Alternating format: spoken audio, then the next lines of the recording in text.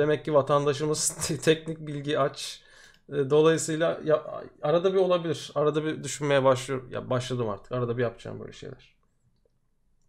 Şimdi öncelikle eee, şimdi biz hash kırmak istiyoruz değil mi? Peki hash neydi? Ya şöyle bir şeydi değil mi hash? Bir tane hash fonksiyonu vardı. Bu bir parola alıyordu. Karşılık olarak şöyle karman çorman bir tane string çıkarıyordu değil mi? Ee, sonra bunu gidip database'e kaydediyorduk. Mesela database vardı. İşte kullanıcı adı ve şifre kısımları var. Parola şifre değil. kısımları vardı. İşte kullanıcı adı Hikmet. E, parolasını da bunun Hikmet'in hash'ini yazıyorduk. Peki sal- bu database'i ele geçiren saldırgan bu parolayı nasıl e, ele geçirirdi? Aynı hash, hash fonksiyonuna elindeki word listi sokardı. Hani 1 2 3 4 denedi. Ee, şöyle bir hash aldı. Bunlar aynı mı? Aynı değil. O zaman e, aynı hash fonksiyonuyla başka bir şey deneyecek. 1 2 3 4 5 denedi. Tuttu mu? Tutmadı. Ee, sonra başka bir şey deneyecek saldırgan. 1 2 3 4 5 6 denedi. Tuttu. Demek ki bu parola 1 2 3 4 5 6 diye basitçe anlatmıştık. Şimdi gerçek hayatta bu saldırganın yaptığı şeyi yani hash fonksiyonuyla bir parolanın hash'ini hesaplamayı en iyi yapan yazılım Hashcat günümüzde yani 2021 yılında. Bundan eee, yani 2007-2008 yılında falan olsaydık John Draper derdim. Hatta John Draper hala aktif büyük ihtimalle. Evet, John Draper hala var. Bu 2007-2008'de bununla hesaplıyorduk hash'leri. Ama artık Hashcat'in hızına kesinlikle erişemiyor. Tamam. Bizim bize lazım olan yazılım bu. Bu Windows'ta da çalışıyor, Linux'ta da çalışıyor, Mac'te de çalışıyor, her yerde çalışıyor ve genel olarak e, sizin ekran kartınızın e, gücünü kullanmayı daha çok seviyor çünkü ekran kartıyla çok daha e, çok daha hızlı bir şekilde çok daha fazla hash hesaplayabiliyorsunuz. Ama işlemcinizde de çalışıyor bir yandan sorun yok. Şimdi tamam Hashcat'ten bahsettik. Peki sorun şu. Sen bir tane database ele geçirdin. Hikmet şöyle bir tane string var yanında. Hani hashlendiğini anlıyorsun. Peki bu hangi hash? Yani piyasada binlerce hash var. SHA-256 mı? SHA-512 mi? MD5 mı? Bcrypt mi? PDF2 mi? Ee, falan mı filan mı? Mesela hash algorithms'te yazsam herhalde 50 tane algoritma çıkar. Cryptographic hash function. Ee, Tamam burada çıkmadı ama.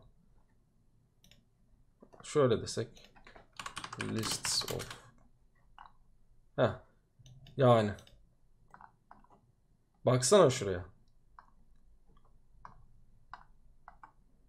Bu kadar hash algoritması var. Bunlardan hangisi yani bu ne bileceğim. Evet. Ahmet şey demiş. Neden ekran kartları daha hızlı kırıyor diyor. Sorsun biri demiş. Valla bunun cevabını zamanında araştırmıştım ama şu an bilmiyorum. Gerçekten. Ee, ekran kartın içinde bilmem ne daha fazla falan o yüzden daha iyi hesaplayabiliyor falan bir şeyler var ama bilmiyorum gerçekten sebebini. Neyse.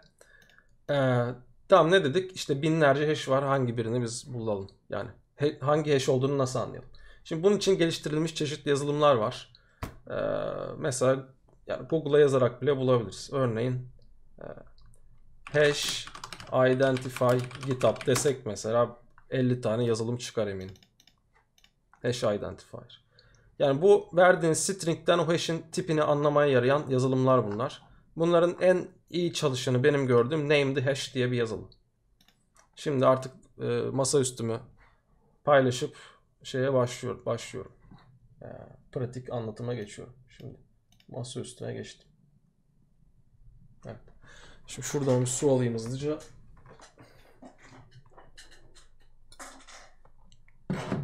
Şu chat'i de şöyle alayım. Tamamdır. Şimdi bu hash'i tespit ettiğimiz yazılımın adı neydi? Ee, name the hash. Name the hash'i nasıl kuruyorsun? Bu bir Python'da yazılmış bir şey. Ee, pip3 install name the hash yazıp kuruyorsun. Şimdi bende hazır kurulmuş var. Diyelim bizim parolamız e, online SHA 2 2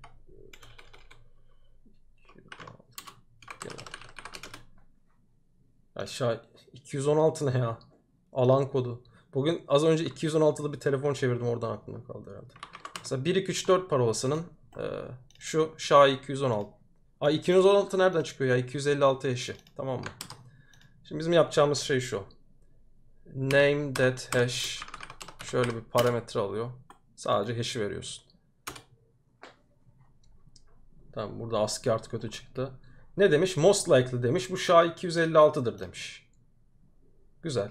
Hani least likely de bunlar. Hani bu tabi size %100 bir cevap vermiyor ama çok büyük ihtimalle SHA 256 diyebiliyor. İşte orada baktığı farklı farklı parametreler var.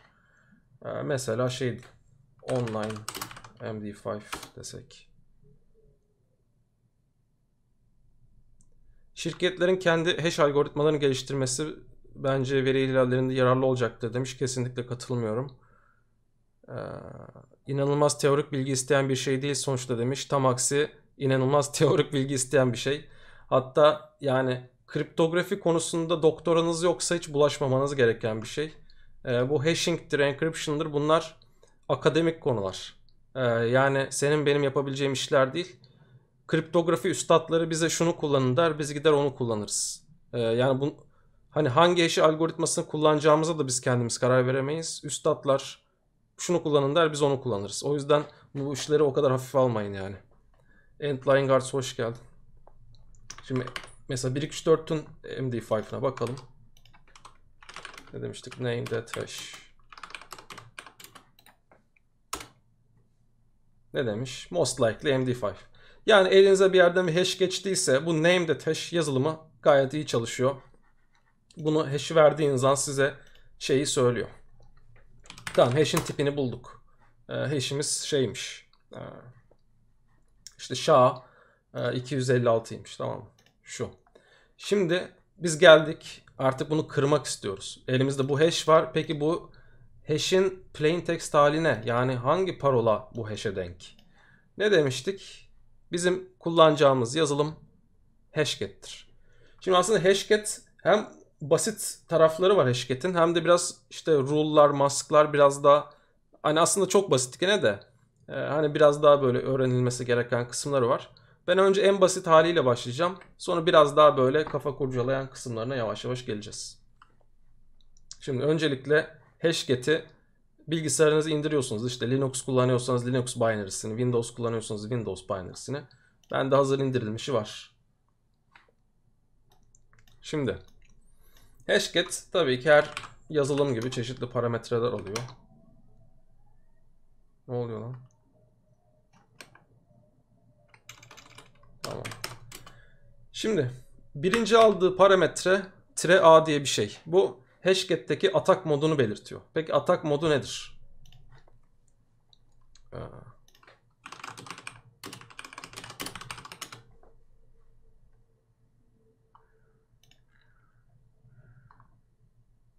Şimdi bir dictionary atak var. A0 ile ifade edilen. Dictionary atak dediğimiz şey klasik word list saldırısı. Sen senin bir tane word listin var.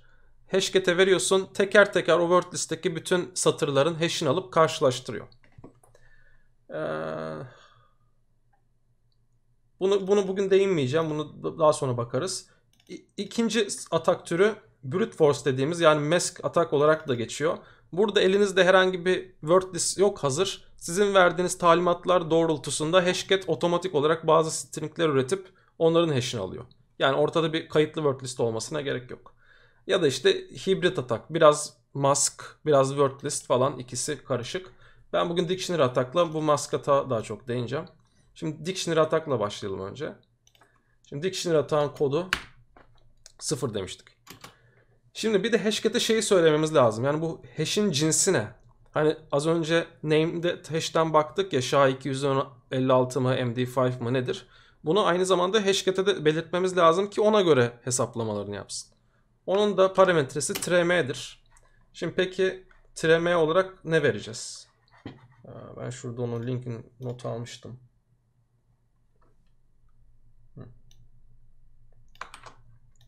Buraya gidiyoruz.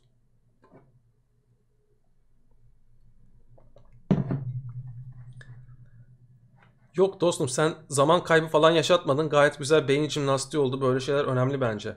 Yani kafanda kalacağına burada hep beraber tartıştık. Hep beraber e, bir şeyler deneyip cevabını aldık. Böylece herkesin kafasında netleşti. O yüzden hiç şey e, aklına bir şey gelirse olan bu sorulur mu sorulmaz mı diye düşünme. Bunlar çok faydalı şeyler. Şimdi bunlar Hashget'in içindeki he, farklı hash tiplerinin kodları. Yani çok fazla alternatif var. Senin doğru kodu vermen lazım. Mesela bizim hash'imiz neydi? SHA-256 idi değil mi? Bak SHA-256'nın kodu 1400'müş. Sen 1400'ü yazarsan şuraya treme 1400 e, Hashcat senin verdiğin word listteki şeylerin e, SHA-256'larını alacak. Mesela bu MD5 olsaydı kırmamız, kırmak istediğimiz şey e, mesela sıfırmış MD5'ın kodu. Ama mesela bu atıyorum bir WordPress sitesinden elde edilmiş MD5 ise mesela onun kodu 400'müş falan filan. Bu şekilde e, Hashcat'in sitesinden onun koduna bakıyoruz. Burada bu biraz küçük gözüküyormuş pardon. Şimdi ikinci olarak Hashget'e ya bir, tek bir tane hash vereceğiz ya da bir hash listesi içeren bir text dosyası vereceğiz. Yani içinde atıyorum binlerce hash olan bir dosya da veririz. bir dosya da verebiliriz. Sadece tek bir tane hash de verebiliriz. Şimdi ben örnek olarak şimdilik sadece tek bir tane hash vereceğim. Mesela şu olsun. Tamam. Şimdi son olarak word listimi vereceğim. Ee, word list neydi? İçinde böyle kullanıcıların sahip olması muhtemel parolalar içeren e, bir parola listesi. Atıyorum içinde neler vardır? 1, 2, 3, 4, 5, 6 vardır. Küvert vardır. E, Beşiktaş 1903 vardır. Böyle şeyler vardır. Ha, pardon. E, şunu şöyle alsak. Şunu, zaten bu chat box'ı sizin görmenize gerek yok. Bu burada dursun. Tamam. Hadi Türkçe word listimizi verelim buna. Şimdi aynen bu şekilde başladığım zaman Hashcat Türkçe word listinin içindeki bütün satırları tek tek SHA-256'sını alıp bununla karşılaştıracak. Yaptığı şey çok basit. Sadece çok hızlı bir şekilde yapıyor. Enter'a bastık. Ben bunu zaten daha önce kırdığım için e, bu zaten kırık dedi. O yüzden başka bir hash deneyelim. 4 e, bu 432 de içinde çıkmayabilir. Beşiktaş 1903 deneyim hadi bakalım. O Türkçe word listin içinde kesin vardır.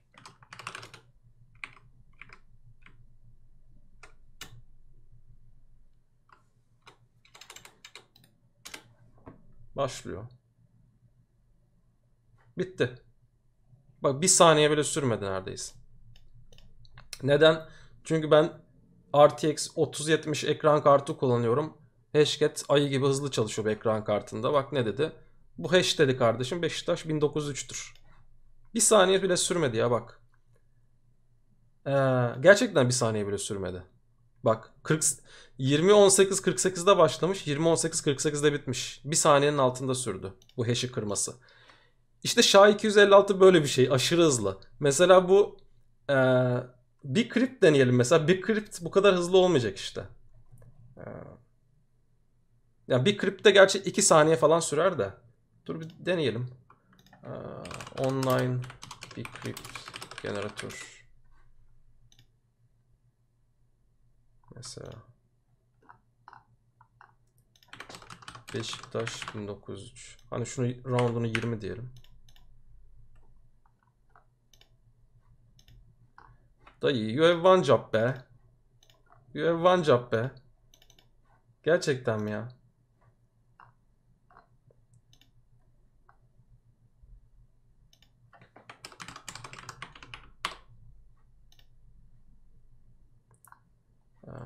Şunu 20 yapalım da biraz yavaş olsun. Aa 18 miymiş bunun limiti? Bak bunu ilk defa duydum hayatımda. Aa o da o yüzden mi hata verdi acaba? Aa günahını aldık lan.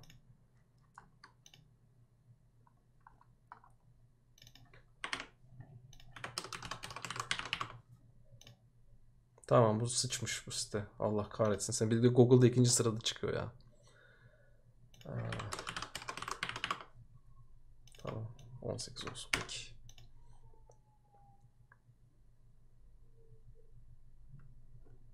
Şimdi de kıskandı diğer siteye gittik diye. Beklemen lazım. Uzun mu sürüyor?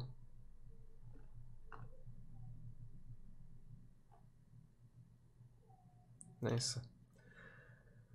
Okey.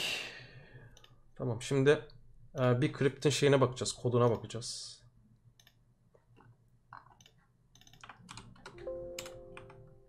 Evet bu. 3200. Şimdiki. Gel sen.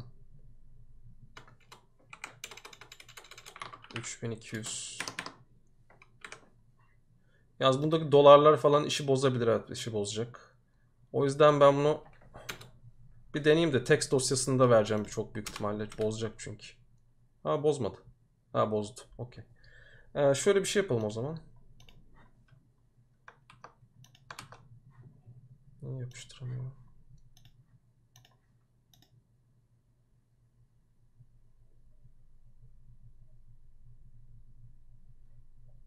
Yok sondaki boşluktan değil ya. Ben daha önce de yaşadım bu sıkıntıyı hatırladım. Bu dolarlar falan bozuyor ama bir tekrar deneyelim isterseniz. Bak evet. Separatör bilmem ne. Gerçi ters slash falan bir şey yok ama olsun. Aa. Ne diyelim? Hash.txt diyelim.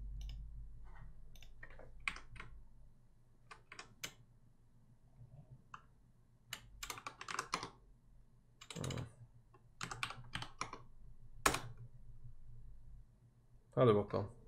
Bu galiba biraz uzun sürecek. Bu arada yayında ekran kartına yapıyorum. İnşallah bu ekran kartını çok zorlayıp yayını cortlatmaz. Allah. Vallahi bitim düşüyor.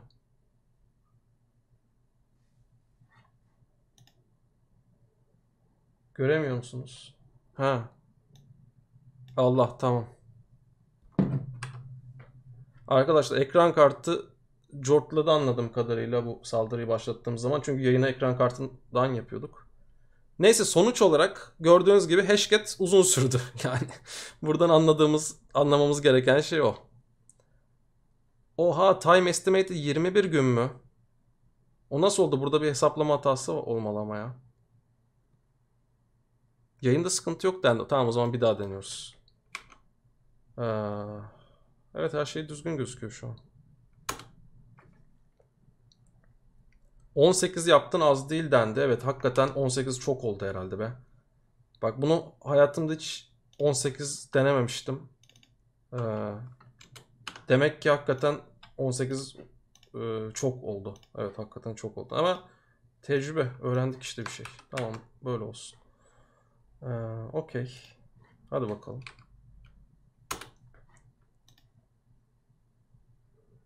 Aynen. Hatta 18 değil galiba 2 üzeri 18. Şu an ne? Ne oldu lan yan ha, boşluk var diye mi oldu? Galiba 2 üzeri 18 ya. Em- Emin olmamakla birlikte. Tamam sondaki boşluktanmış aynen.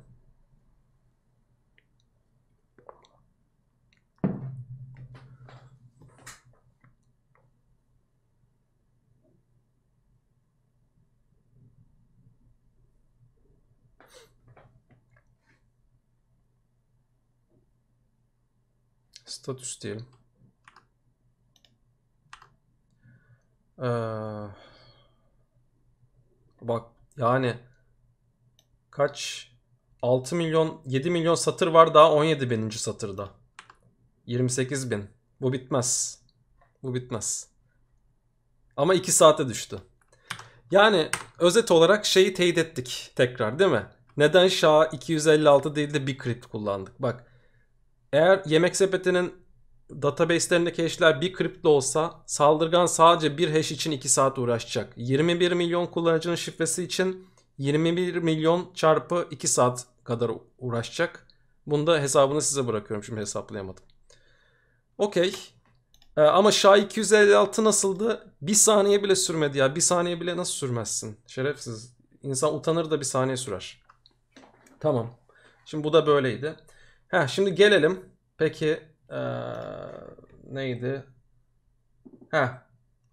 Şimdi geldik Hashget'in rules'larına. Şimdi mesela biz ne dedik parolaya? Neredeydi? Beşiktaş 1903 dedik. O da bizim word listemizin içinde olduğu için çıktı. Tamam mı? Peki ya bizim parolamız Beşiktaş 1903 olsaydı ya da Beşiktaş 1903 olsaydı bunlar word liste olmadığı için bunları bulamayacaktık. Peki bunlar bizim word listemizde yok diye oturup alacak mıyız? Tabii ki hayır. İşte Hashget'in rule'ları yani rule dediğimiz şey kural burada devreye giriyor. Senin word listendeki elemanları senin verdiğin kurallar dahilinde böyle alternatiflerini üretiyor. Mesela ilk harfini büyük yaptırabilirsin. Üçüncü harfini büyük yaptırabilirsin.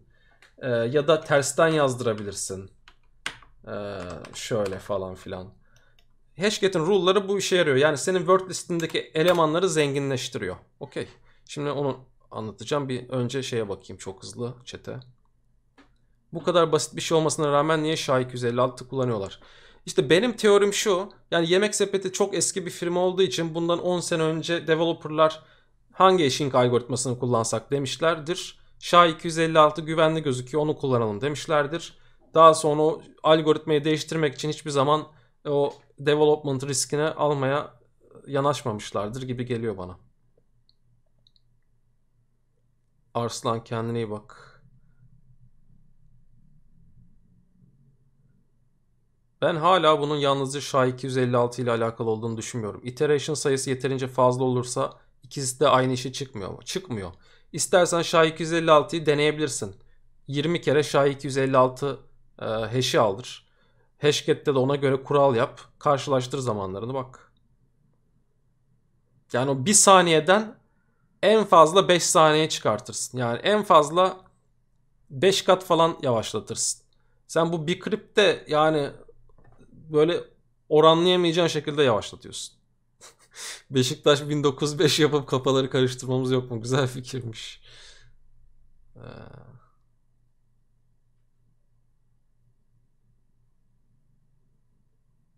Kali kullanmıyorum. Tamamdır devam. Şimdi o zaman biz kendimize yeni bir word list yapalım. Ne yapalım? İçinde şöyle... Ha, siz göremiyorsunuz tabii. Gerçi şu an benim notlarım da büyüyor böyle yapınca da.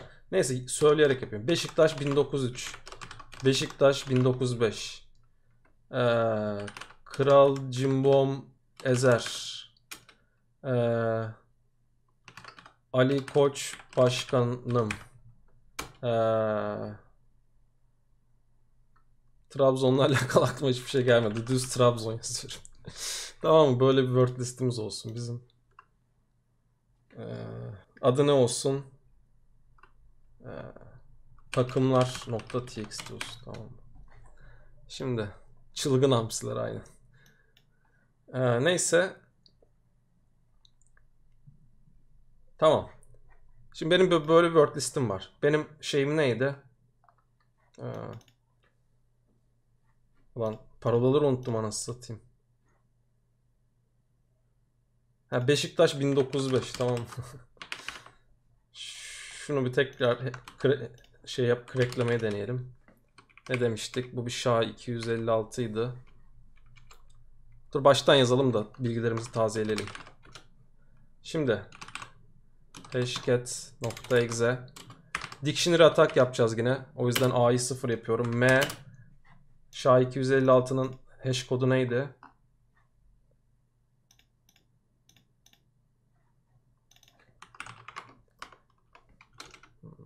1400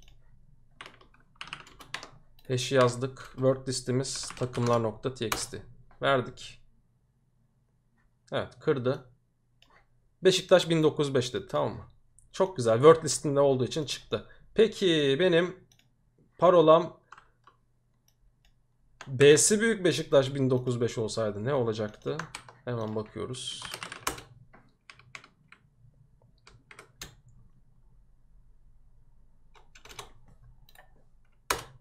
Başladı. Patates olduk. Bulamadık. Niye? Çünkü benim Word listimde B'si büyük Beşiktaş 1900 diye bir şey yok. B'si küçük var. Peki o zaman e, o, tamam. kısmet değilmiş saldırı başarısız oldu deyip eve mi gideceğiz? Tabii ki hayır. Şimdi Hashget'in kurallar kısmı başlıyor. Baba baba başlıyor.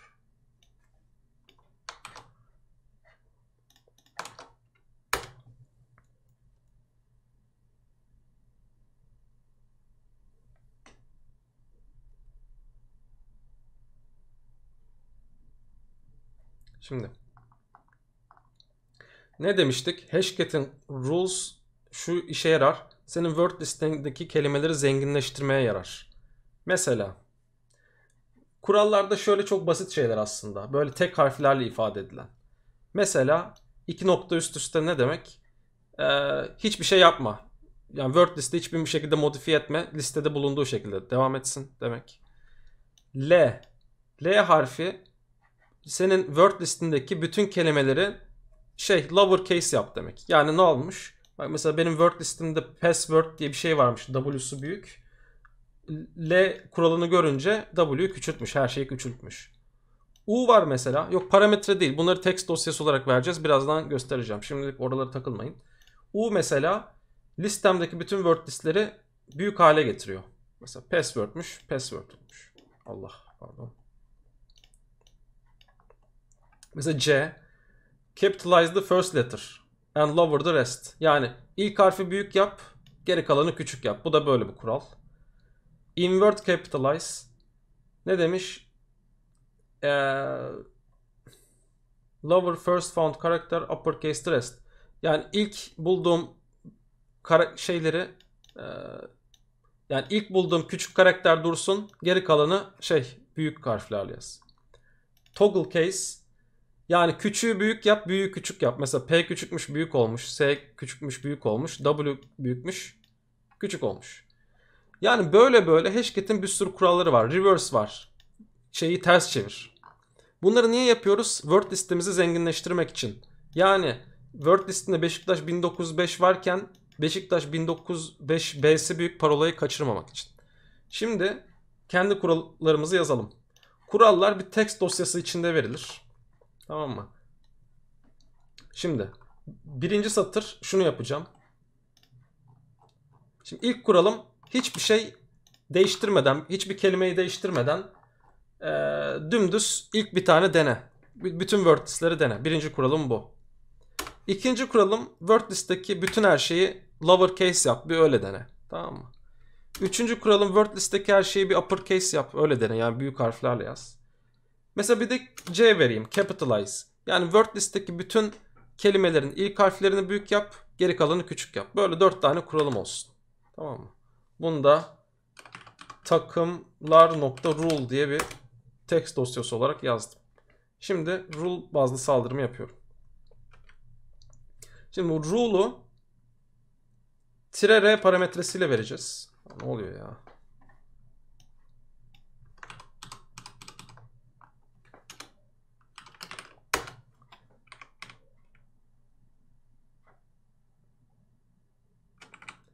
Tire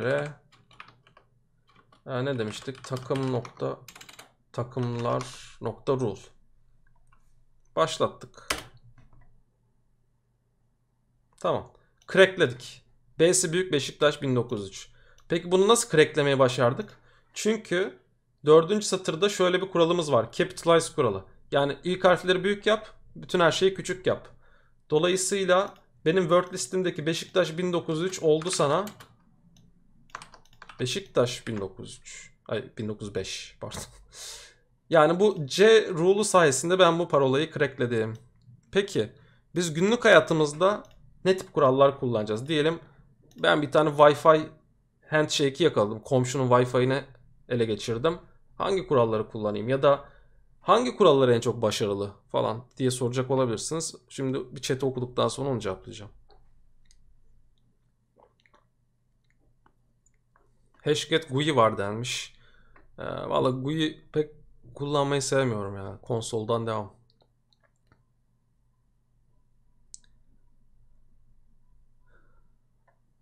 V4 Visnetta bak bu sorunun cevabı için dün bir tane yayın yaptım. Onun YouTube'dan tekrarını izleyebilirsin. O tip şeyleri dün anlattım. Name'de hash iki kere hash alınmışsa yakalayabilir mi temelde hangisi olduğunu. Örneğin MD5 ile hash yaptık. Gelen değeri de SHA-256 ile hash yaptık. Evet sana sadece SHA-256 verir. Çünkü plain text halini bilmediği için onun MD5 olduğunu söyleyemez. Sana en son halini söyler. Zaten Ench Loez cevabını vermiş sana. Ya bir de şifreye niye odaklan? Ha tamam pardon o başka bir şey. Sen yemek sepetine ekleyecek olsan nasıl eklerdin? Yani alakasız bir soru. Ha, tamam. Okey devam. Konudan bağımsız VS, VSL mi kullanıyorsun? Evet VSL kullanıyorum. Şimdi ne demiştik? Ha rule'lardan bahsetmiştim. Peki biz hangi rule'ları kullanacağız? Ne yapalım? Şimdi browser ekranıma gideyim. Şimdi size bir iki link açayım.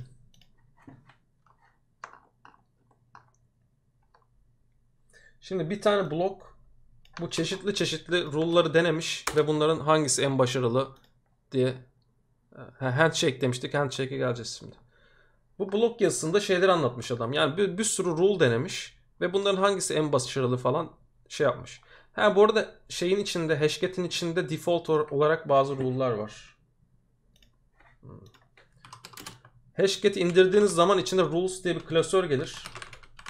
Bunun içinde çeşitli rule'lar vardır. Mesela işte best 64 rule, en iyi işte 64 kural. İşte combinator rule falan. Bunlar böyle şeydir. E, default kullanabileceğin rule'lar. Şimdi bu dayı bunlardan hangisinin en iyi çalıştığını yazmış. Test etmiş daha doğrusu. Şunu küçültelim. Bak. Aa, bu değil.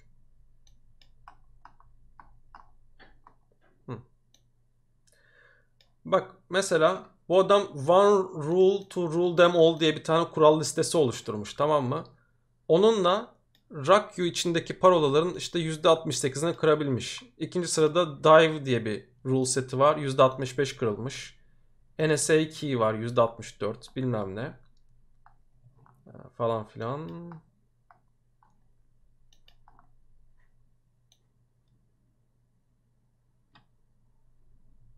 Heh. Burada da şeylerden bahsediyor. Yani Hashget'in içinde gelen e, defaultlardan bahsediyor.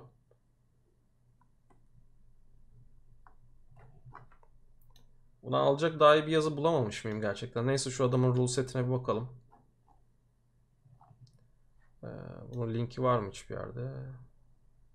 Şunu Google'dan aratsak GitHub falan çıkar büyük ihtimalle de. Heh.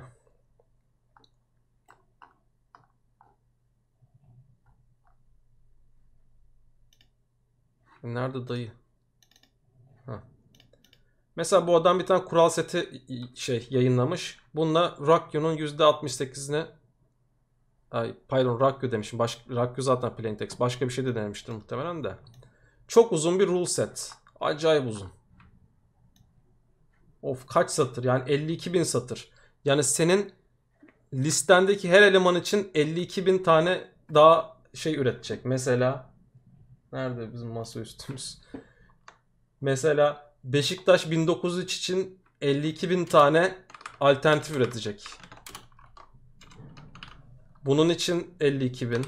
Bunun için 52 bin. Yani benim 4 5 tanelik şeyim oldu sana 300 bin şey e, parola. Dolayısıyla bu fazla uzun. Tamam mı? Ama mesela diyelim tek bir tane SHA-256 kırmaya çalışıyorsun. O zaman yapıştır rule'ları. 52 bin olsun ne olacak ki? Zaten inanılmaz hızlı. Yani sen bu 52 bin satırlık rule'u böyle işte binlerce parolalı bir word listle belki işte birkaç saatte deneyeceksin belki. Ama mesela sen Bcrypt gibi yavaş çalışan bir algoritmayı kırmaya çalışıyorsan o zaman 52 bin tane rule kullanmak e, belki aylar sürecek. Tamam mı? O yüzden orada mesela daha akıllıca rule'lar kullanabilirsin. Kendi yazdım mesela lower, upper, capitalize.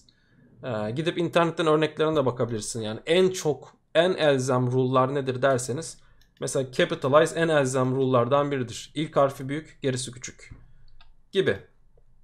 Ya da hepsi lower, hepsi upper. Bunlar da önemli rule'lar. Yani hashget rule'ları özet olarak budur. Senin, sizin word listinizi zenginleştirmek için kullanılan şey şeylerdir. Ha mesela elinizde diyelim yemek sepetin database elinize geçti. 21 milyon tane hash kırmak istiyorsunuz. O zaman mesela en fazla 10 tane rule kullanın. Çünkü işiniz uzun. 21 milyon hash kıracaksınız yani. O zaman mesela şöyle 10 tane e, rule yazsan tamam. E, işte yaparsın. Bir günde biter. Ama 52 bin tane rule ile 21 milyon hash kırmaya çalışırsan o zaman inanılmaz uzun sürer. E, rule konusunda da diyeceklerim bu kadar. Şimdi bir chat'e bakayım hızlıca.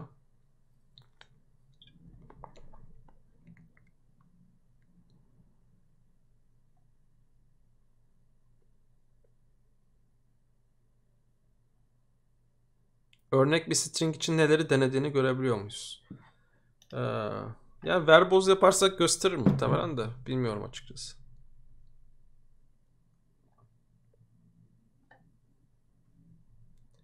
Büyük küçük hepsi karışık harfi var mı?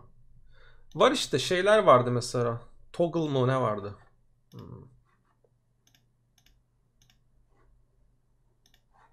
Şuradaki not defterimden bakayım.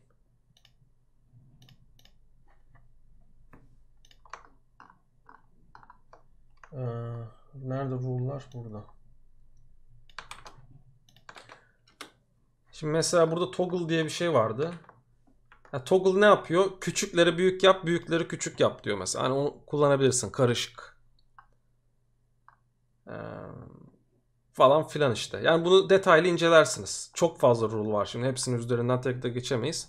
Ama aklınıza gelen her şeyi yapabileceğiniz bir rule var aşağı yukarı. Şimdi bizim bugüne kadar anlattığımız şeyler hep dictionary ataktı şu ana kadar. Yani elinde bir tane senin parola listesi var. O parola listesine ya handshake işin şeydi ya yani tek bir tane handshake'i kırmak istiyorsanız mesela rule'ları bombalayabilirsiniz diyecektim. Çok fazla rule kullanabilirsiniz. Ama 21 milyon handshake yani 21 milyon handshake olmaz da ya çok fazla handshake, çok fazla hash kullanmak kırmak istiyorsanız o zaman rule'u biraz azaltmanız lazım. Çünkü saldırı çok uzun sürer diyecektim özet olarak. Şimdi e, biz şu ana kadar hep dictionary saldırısı yaptık. Yani elimizde hazır bir word list vardı. Yani word listi biraz zenginleştirerek saldırdık. Peki elimizde hiç word list yoksa biz pataküte brute force girişmek istiyorsak yani hashcat kendisi üretsin kardeşim her şeyde biz mi uğraşacağız diyebilirsiniz. Bunun için de mask atak diye bir şeyimiz var. Şimdi ona gelelim.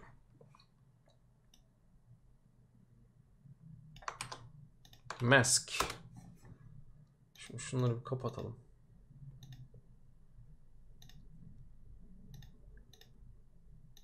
Bu ne lan linki de kapattım.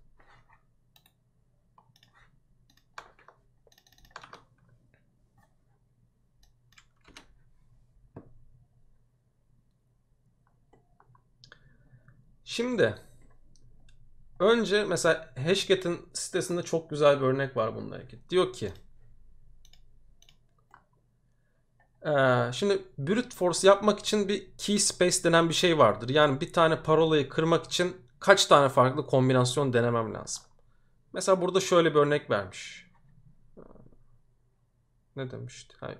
Mesela Julia 1984.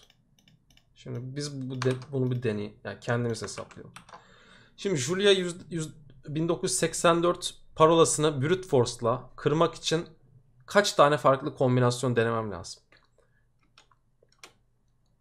Şimdi ee, bunun karakter seti nedir? Hem büyük harfler var, hem küçük harfler var, hem sayılar var değil mi? Ee, alfabede kaç tane şey karakter var? 29 muydu? Ya bunu Google'da aradığımı inanamıyorum ama. 29 muydu? 26 mıydı? Şimdi 26 büyük karakter artı 26 küçük karakter artı 10 tane rakam. Benim karakter setim bu. Rakam. Bu ne yaptı? Eşittir 62. Peki 62 tane karakter seçebilirim. Şimdi mesela bunun şeyi ne? 1 kare 2 3 4 5 6 7 8 9. Yani e, şu 9 3, 4, 5, 6, 7, 8, 9. Hani lise matematik. Birinci kısma kaç tane rakam seçebilirim? 62 değil mi? İkinci kısma kaç tane rakam seçebilirim? 62. Üçüncü 62. 4, 62, 62, 62. Yani 62 üzeri 9 kombinasyona e, e, ihtiyacım var ki Julia 1984 parolasını bulabileyim. Şimdi mesela Wolfram Alpha'dan bunu hesaplayalım şeyini. Değerini.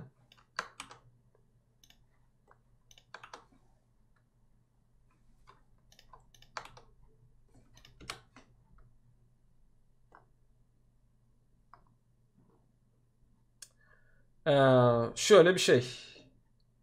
Yani şurada milyon, şurada milyar başlıyor, şurada trilyon falan.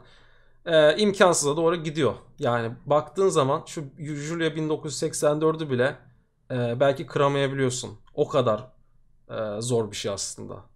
Bunu brute force'lamak. Ama Hashcat şöyle bir teknik geliştirdi. Yani Hashcat değil aslında biraz daha eski bir teknik de. Dedi ki biz böyle bodozlama niye bir şeyleri brute force'lamaya çalışıyoruz ki? Biz çünkü insanlar aslında bu kadar random parolalar üretmiyor. İnsanlar e, belir, belirli bir pattern'da parola buluyor. Yani kendi parolalarınızdan biliyorsunuzdur. Yani ne bileyim ben diyelim bir tane parolayla kaydolacağım bir yere. Beşiktaşlıyım diyelim. Yani ya Beşiktaş 1903 yaparım. Ya B'si büyük Beşiktaş 1903 yaparım. Ee, mesela özel karakter kullanacaksam Beşiktaş 1903 sonuna bir tane ünlem koyabilirim. Ee, falan filan. Ama gidip de çok büyük ihtimalle şunu yapmam değil mi? Beşik T'si büyük taş yapıp 1900'ü çok büyük ihtimalle yapmam değil mi? Yani kimse buraya büyük harf koymaz. Ya da ee, ne bileyim Beşik 1903 taş yapmam değil mi? Manasız. Ya da B ün, ünlem Siktaş 1903 de yapmam. Yani biz internete sızan parolalardan da biliyoruz. Hani Rock You internete sızmış. İşte MySpace'in parola listesi internete sızmış. Ha, bunları nasıl sızan parolaları nasıl analiz edeceğimizi de yayının sonlarına doğru anlatacağım. Biz kendi e, sızan parolalarımızı da analiz edeceğiz. Oraya takılmayın. Yani demek istediğim yapılan araştırmalarda insanların belli bir pattern kullanarak parola elde e, parola seçim yaptığı görülmüş. Dolayısıyla Hashcat'in yapımcıları diyor ki biz bunu böyle bodozlama gerizekalı gibi e, şey yapmaktansa brute force'lamaktansa daha akıllıca brute force yapalım. Yani diyelim ki mesela ilk şeye ilk karakter büyük harfi olsun diyelim. Mesela birinci karakter büyük harfi olsun. Ondan sonra dört tane küçük harf gelsin. Sonra dört tane sayı gelsin. Tamam mı? Bu klasik bir insanın e, şey yapabileceği bir parola modeli. Ve yani Hashcat'in yapımcıları diyor ki biz buna göre brute force yapalım. Yani buna göre brute force yaptığım zaman ben nasıl bir avantaj elde edeceğim? Mesela bir, birinci karakter büyük harf olacak sadece. Yani sadece 29 tane e, şey gelebilir. Harf gelebilir. İkinci yine 29. Sadece küçük harfler gelebilir. Üçüncü 29. Dördüncü 29. Beşinci 29. Sonra sayı. 10 tane sayı. 10 tane sayı. 10 tane sayı. 10 tane sayı. Şimdi mesela bunu Wolfram Alpha'da çarpsak kaç elde edeceğiz? Bu böyle direkt çarpacak mı acaba? Multiplication evet. Aa bunları şey olarak aldı.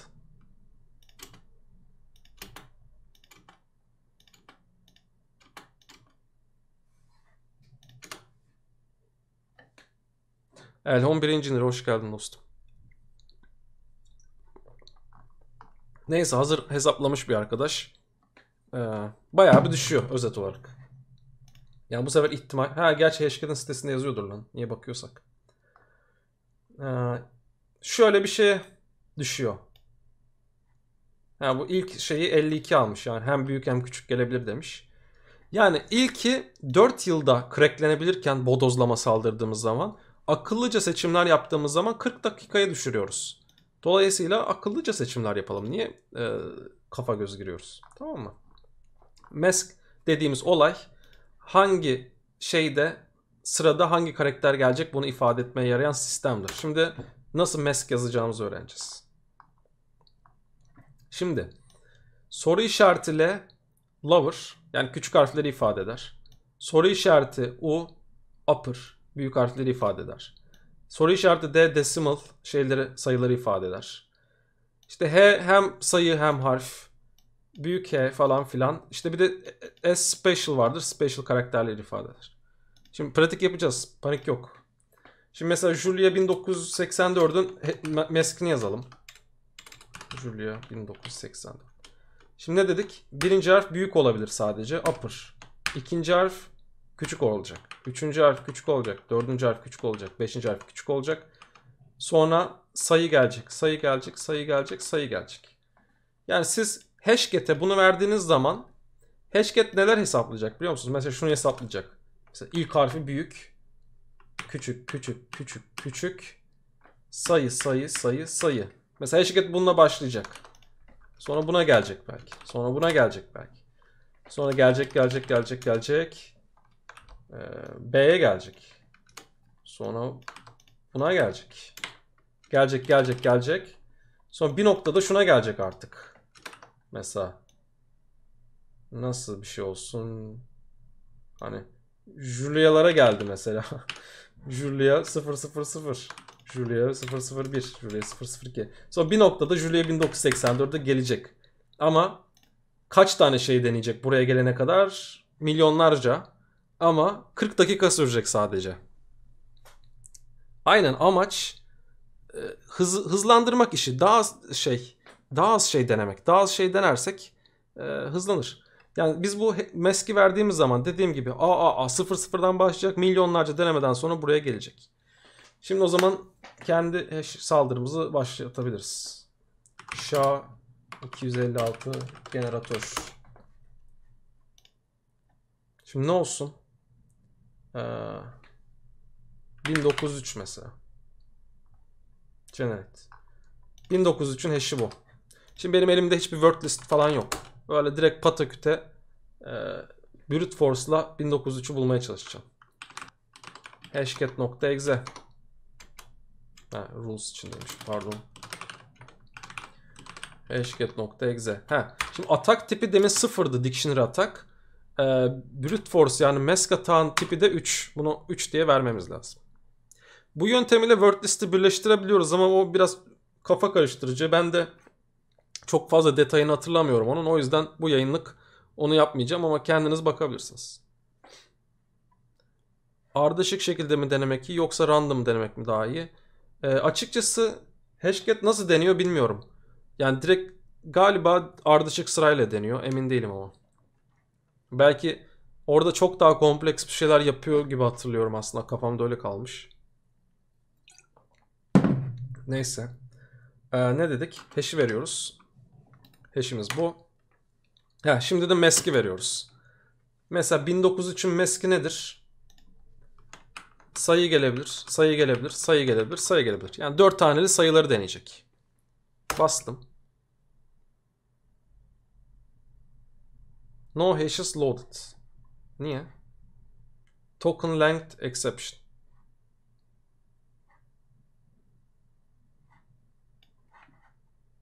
Niye? Aa hash'in tipini söylemedik ki. Ne oluyor? Ne oluyor? Hash'in tipini söylemedik. Ne demiştik? Hash'in tipini belirtmemiz lazım. Yoksa hashcat nereden bilsin? Bu SHA 256 olduğu için 1400 dedik. Hı, ne oldu? Ben hiçbir word list falan vermedim. 1903'ü buldu. Nasıl buldu? Ne, ne verdim ben? Mesk olarak D, D, D, D. Yani sayı gelebilir, sayı gelebilir, sayı gelebilir, sayı gelebilir.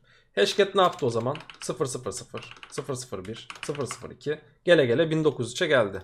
Ne kadar sürdü bu? Bir saniye bile sürmedi gördüğünüz gibi. Tamam daha kompleks bir şey deneyelim. Mesela ne olsun? Ee, B1903 olsun. Bu ne kadar uzun sürer bilmiyorum ama deneyelim. Hashcat exe a3 M 1400 hash'imiz bu. Peki B 1450 1903'ün mask'i nedir? Küçük harf gelebilir. Lower. Ee, sayı gelecek, sayı gelecek, sayı gelecek, sayı gelecek. 4 tane bir tane küçük harf, 4 tane sayı. Bakalım ee, çıkacak mı? Belki çok uzun süre. Şu an kestiremiyorum. Ah bitti. Bir saniye bile sürmedi. Ne dedi? B1903. Buldu. Hmm, çok güzel. Peki daha da kompleks bir şey denesek. Ha şunu denesek. B1903 ünlem. Mesela bu çok işleri karıştıracak. Çok uzun sürebilir. Yani çok uzun değil de yine uzun sürebilir bu. Eşket exe A3 M 1400 eşim bu. Ee, ne dedik? Küçük harf gelecek. Sayı gelecek. Sayı gelecek. Sayı gelecek. Sayı gelecek. Special karakter gelecek. Bastım. Ee, bu da bir saniye bile sürmedi. Benim ekran kartım çok güçlü olduğu için e, kafa göz giriyor. Bı- bıçaklanmışa dönüyor yani hash. Çok hızlı. Ee, şey böyle. e, rule'lar böyle arkadaşlar. Şimdi peki yine şeyi sorabilirsiniz. Ya peki biz hangi rule'u kullanacağımızı... Ay ne rule ya? Mask. Hangi mask'i kullanacağımızı nereden bilelim kardeşim? Yani biz kahin miyiz? Ee, yani parolanın rule'unu nereden bileceğiz ki? Zaten parolanın rule'unu bilsek bir şekilde parolayı da buluruz diyeceksiniz. Ee, 8 haneli sayı deneyelim mi demişsin de. Şimdi ben yayını da ekran kartından yaptığım için ekran kartını çok zorlarsam yayına zeval gelecek diye korkuyorum. O yüzden çok zorlayasım yok. Ee, ama siz evde deneyebilirsiniz. Şimdi ne dedik? En popüler meskler. Şimdi bakalım onunla ilgili not almış mıyım hiç? Çok güzel onunla ilgili not almamışım. O zaman Google'a yazacağız. Ee, hashcat best masks. Yazsak ne çıkacak bakalım.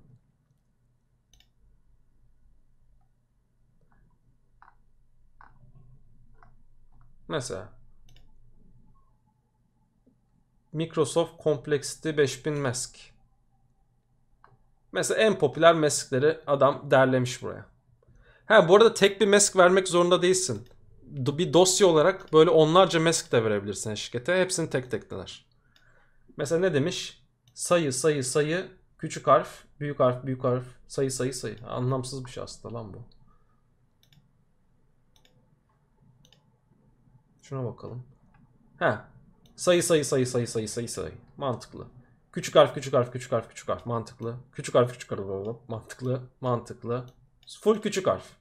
Full sayı. Full büyük harf. İşte biraz küçük harf, biraz sayı falan filan. Böyle en çok kullanılan meskler.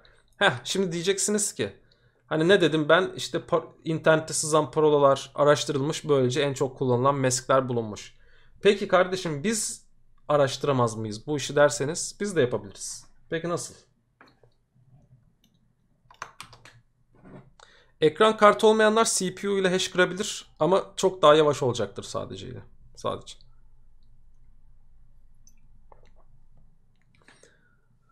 Ee, sadece sayılardan oluşan şifre ile sadece harflerden oluşan şifre arasında fark olur mu? Yani numara hesaplama ile harf hesaplama arasındaki fark nedir? Şimdi şöyle göstereyim hızlıca.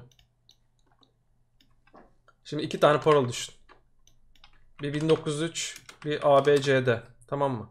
1903'ü kırmak için ya şimdi bu sadece sayılardan oluşuyor ya. El, kaç tane rakam var? 10 tane rakam var değil mi? Yani birinci sıraya ya 0 gelir, 1 gelir, 2 gelir, 3 gelir, rururup ya da 9 gelir. Yani birinci sıraya 10 tane sayı gelebilir. İkinci sıraya 10 tane sayı gelebilir. Üçüncü sıraya 10 tane sayı gelebilir. Dördüncü sıraya 10 tane gelebilir. Yani bu ne etti sana? 1000. 10 üzeri 4. 4. 10 bin. Yani sen 10 bin denemede bunu kesinlikle bulacaksın. Peki buraya geçelim.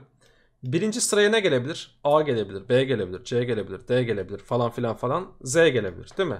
Yani birinci sıra 29 şey harf gelebilir. İkinci sıra 29 harf gelebilir. Üçüncü sıra 29 harf gelebilir. Dördüncü sıra 29 harf gelebilir. Yani 29 üzeri 4 şey gelebilir. Yani bayağı bir şey. Dolayısıyla bayağı bir fark var.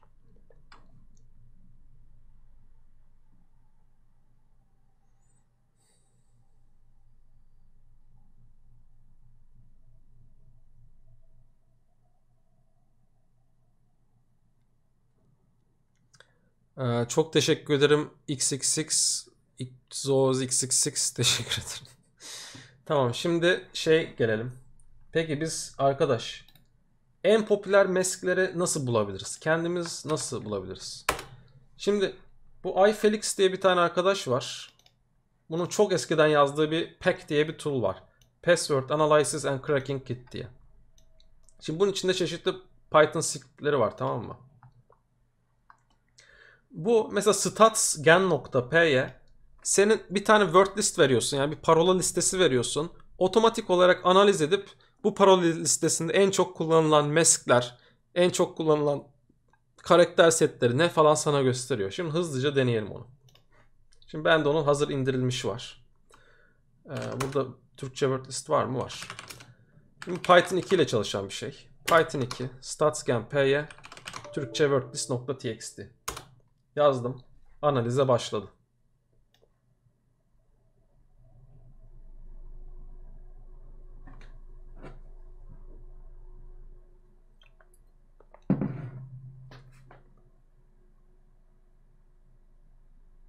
Evet bu ne kadar sürüyor acaba? Daha bayağıdır denemiyorum bunu çünkü. Hı. Bitmiş.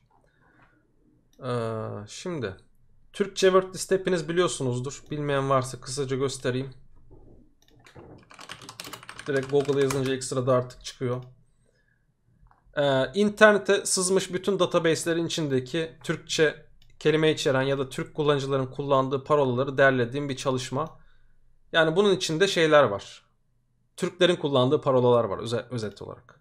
Şimdi ben Türklerin kullandığı parola listesini analiz ettirdim. Ne demiş? Length diyor değil mi? Bunların boyutları, bu parolaların boyutları nedir? Şimdi bunların bu parolaların %20'si 8 karakterliymiş, %10'u 9 karakterliymiş, %10'u 10 karakterliymiş falan filan gidiyor. Yani en popüler parola uzunlukları 8, 9, 10. Çok güzel. Karakter setler. Yani parolalarda en çok hangi karakter setler kullanılıyor? Lower alfonum. Ne demek? Yani şey küçük harfler ve sayılar içeren parolalar e, listenin %49'unu oluşturuyor. Yani Türkler büyük harf kullanmayı pek sevmiyor. Türkler e, özel karakter kullanmayı pek sevmiyor. İkinci sırada lower alfa geliyor. Yani lower alfanumeri alfa, alfa söyleyemedim. Yani küçük harfler. Sadece küçük harf. Ne sayı var, ne büyük harf var, ne karakter var. Üçüncü sırada numerikler geliyor. Yani sadece sayı. Yani görüyor musun şey özel karakter kullanımları falan yüzde üçlerde, yüzde ikilerde, yüzde birlerde. Yani e, Türkler çok basit parolalar kullanıyor özet olarak. E, ya sadece sayı ve harf kullanıyor ya harf kullanıyor ya sadece sayı kullanıyor. Ha, mesela masklere gelelim. Şimdi bu dediğim gibi StatScan gidip bütün word list analiz etti ve en popüler maskleri çıkarttı. Şimdi bu en popüler mask neymiş? Lower, lower, lower, lower, lower. Yani 1, 2, 3, 4, 5, 6, 7, 8. Yani 8 haneli sadece küçük harflerden oluşan parolalar. En popüler mask buymuş. İkincisi ne? D, D, D, D, D. Yani digitler. 1, 2, 3, 4, 5, 6, 7. 7 haneli sayılar. Bir başka bir mask bu. Falan filan. Böyle bir, bir, sürü mask oluşturdu size. Yani siz diyelim Türk bir tane database'e brute force yapmak istiyorsanız alın bu mask listesini kaydedin. Hashcat'e verin. Hashcat otomatik olarak böyle brute force yapsın. Söyleyeceğim şey bu. Aynen VSL içinde Ubuntu kullanıyorum. Mesela ben şey olsaydım yemek sepetinin database'i benim elime geçseydi yapacağım şey şu olurdu. Ee, neredeyim? Türkçe word list'i alırdım. Türkçe word list işte Türklerin en çok kullandığı parolaları barındıran database. Ona şöyle biraz kural eklerdim. İşte lower dene, e, upper yap, capitalize yap. Yani ilk karakteri büyük yap gerisini küçük yap falan. Böyle ufak tefek bir 10 tane rule verirdim. Türkçe word, list, word listini verirdim. Zaten SHA-256 çok hızlı kırabileceğim. Yani o ve o parola listesinin çok büyük ihtimalle %60'ını falan kıracaktır. Hani %60 belki biraz çok oldu ama en az en az %40, en az %50'sini sadece Türkçe wordlist e, şeyiyle kırabilirsin. E, hatta gerçi şimdi farazi konuşuyorum ama hani yemek sepetinde bir password complexity şeyi de olmadığı için, gereksinim olmadığı için yani yemek sepetinde parolası Jimbom 1905 olan en az bir 200 bin falan insan vardır eminim yani. Onu da Türkçe wordlist'te çatırt diye bulursun. Sonuç olarak Hashcat budur. Hashcat kullanımı böyle bir şeydir. Ne, ne anlattık? Hashcat rule'ları anlattık. Hashcat mask'leri anlattık. Ee, onun dışında Hashcat ha, hash nasıl bulunur? Elimize geçen hash tipinin SHA-256 mı, bcrypt mi, MD5 mi olduğunu nasıl bulacağımızı anlattım. Onun dışında başka neler anlattık? Baş, o kadar aslında. Şimdi bu yayının tekrarını da YouTube'a koyacağım. Eğer ortasından geldiyseniz YouTube'a ekleyeceğim. Eğer bir önceki yayını izlemediyseniz onu da kesinlikle tekrarını izleyin. Ee, şimdi benim anlatacaklarım bu kadardı. Şimdi varsa sorularınızı onlara geçelim. Bir chat'i okuyayım yavaş yavaş. Sorularınız varsa bekliyorum bu arada.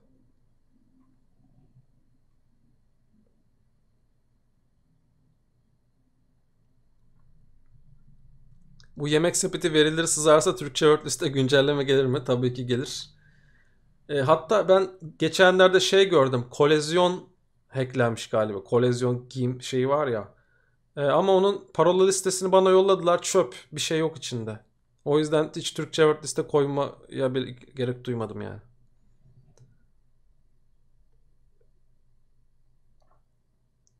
Yabancı leaklerden Türk olanları nasıl ayıkladınız?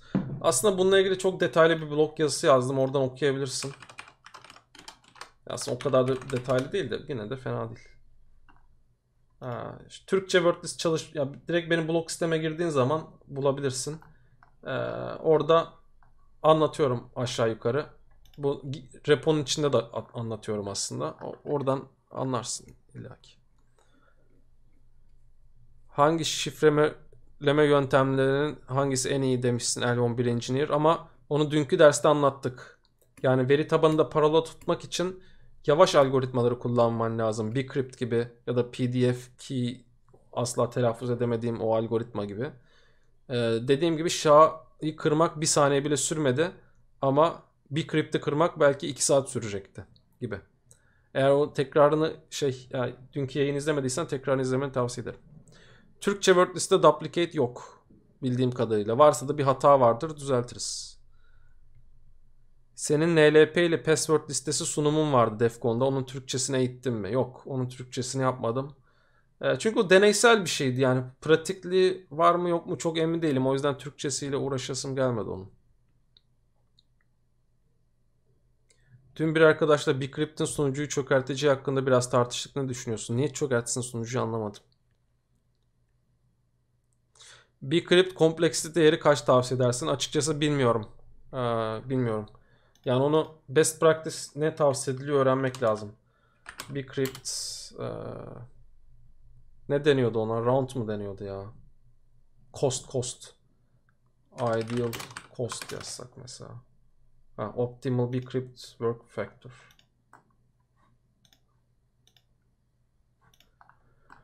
Ee, güzel güzel anlatmış. Sonra ne demiş özet olarak? Hiçbir şey dememiş.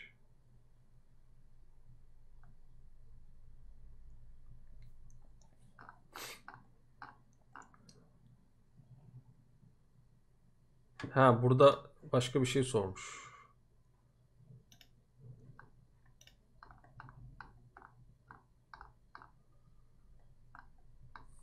Ya 10 da geç ne bileyim ya. Yok mu kısa bir cevap anasını satayım.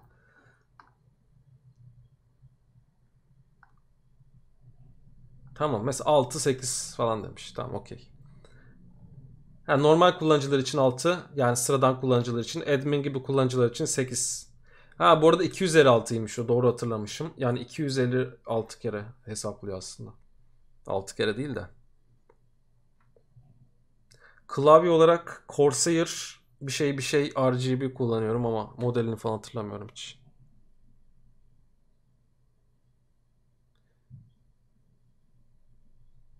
Çok güç kaynak gerektiriyormuş hesaplamak için. Brute force yapıldığında direkt sunucuyu patlatacağını düşünüyordu. Ee, zannetmiyorum açıkçası. Yani sen login panelinde zaten brute force için farklı önlemler alıyor olman lazım. Yani rate limit önlemi al- alman lazım işte bir web application firewall'la falan. Ya çünkü sunucun yani çökmese bile kullanıcıların parolaları riske girebilir. Ee, dolayısıyla şey yani bir crypt kullandım ee, orada iş yüküm arttı falan çok mantıklı gelmiyor. Zaten sen rate limit engellemiyorsan zaten bir crypt de kullansan, SHA da kullansan, ne kullanırsan kullan orada DDoS'u yersin kafana. Hocam bu coin hash'leri de böyle bir şey mi? Onlar kırılamıyor mu? Valla coin konusunda çok bilgim yok ne yazık ki.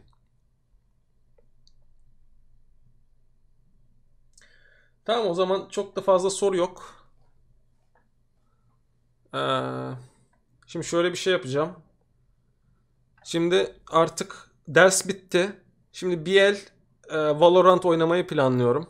Eğer sadece ders için gelen ve e, ben ders aldım, işim var, gücüm var, gideceğim diyen varsa gidebilir.